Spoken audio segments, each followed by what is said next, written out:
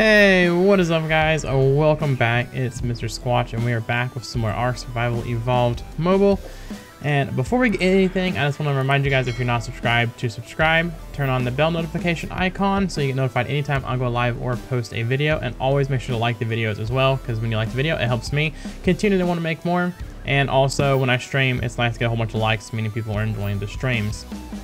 Also, I always forget to plug my merch I literally never talk about it. It's something I really need to get into talking about. So if you would like to, you can go to the link in the description for uh, Stream Elements. It's where I have my merch at. I'm right now wearing one of my hoodies. It's uh, the Mr. Squatch hoodie. It just says Mr. Squatch across it. And then my girlfriend also has the other one with my picture of my face on it, my logo on it. And then we have t-shirts, we have tank tops, phone cases, mouse pads, any of that stuff. So if you guys want to grab some merch, go to the link down in the description and grab some merch. Um, unfortunately, you can only really use PayPal to pay for it. That's the only bad thing I don't like about it. But we're almost at 10k subscribers, and I should be able to use Teespring from YouTube. I might try that to see how that goes. I don't know because YouTube's kind of like, eh, they take a lot of your money away from you. So I don't know if I want to use that yet. But make sure you go check out the merch, see if you want to get anything. Um, I've dropped the hoodies. They're down to like $35. The shirts are like $25. Normally they're like 45, 35. So I've dropped everything 10 bucks or more on the website than what it normally originally was when you start it. So make sure to go check out the merch, guys. Um, but today we're going to be getting into how to beat the dungeon boss that is currently in, which is the fire chicken, the Argentustus, however you pronounce it. So a lot of people complain about this boss, and even I used to complain about this boss because the gust, the gust literally blows you back into the lava, and there's nothing you can do about it. You're just screwed. You either try to kill it super quick and you get lucky, like yesterday Iguana was talking about RNG. She was saying this boss is very RNG, and I used to think the exact same thing, but it's not. There's actually a video someone showed me on my stream yesterday, exactly how to beat the boss, basically every single time. I got unlucky once and almost blew me into the lava but we beat it probably another six, seven times last night on stream, even with three people. No, I think we did four. No, I think the most we did was three people. But anyway, let me go get into the dungeon. I will get all the way to the boss, and then uh, we'll come back, we'll get in, and I'll show you guys exactly how to beat this dungeon boss with no issue. Um, well, I, I'm going to say, you can bring a combo, a shotgun, the one of the videos I saw, the guy was using tech gear and a tech rifle. I'm not going to use my tech gear. I'm just going to bring a tech rifle, but by no means do you have to have a tech rifle or anything.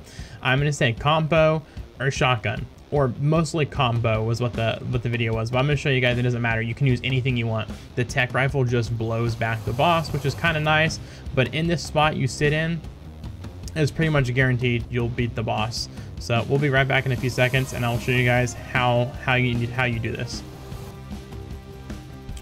Alrighty, we are to the boss teleporter. And before we went in, I basically just wanted to show you guys real quick or talk to you guys a little bit how I'm going to do this when I go in there besides showing you guys the spot you need to stand. In the video I watched, the guy used a tech rifle, which basically helps to knock the Argy back.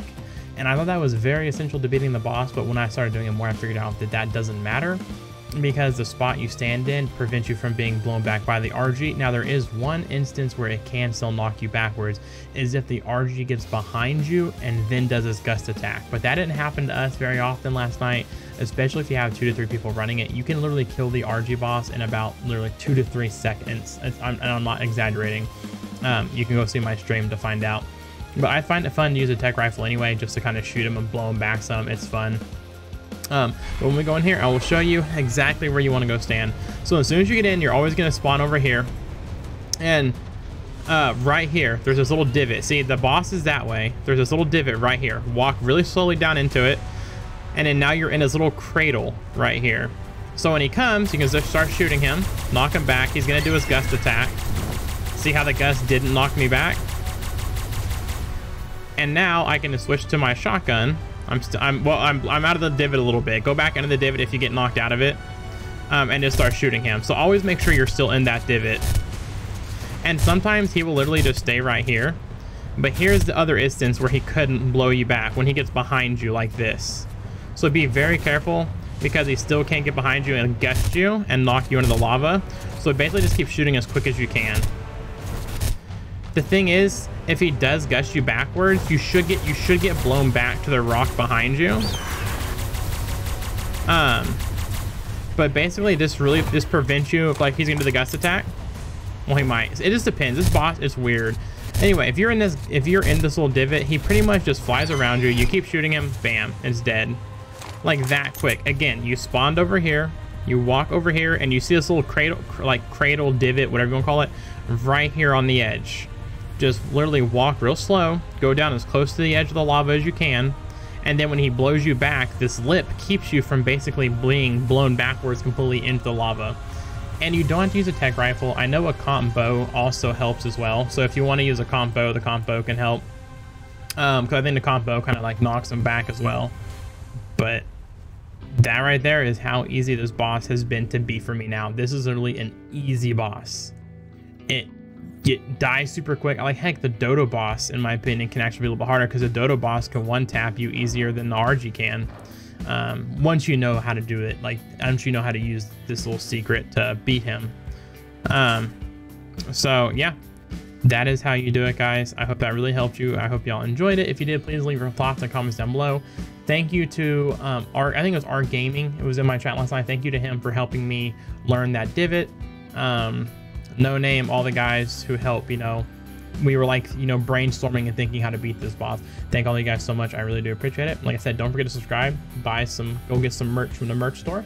Um, turn on the bell notification, like the video, and uh, that is it, guys. I'll see y'all later. Take it one at a time. Peace out.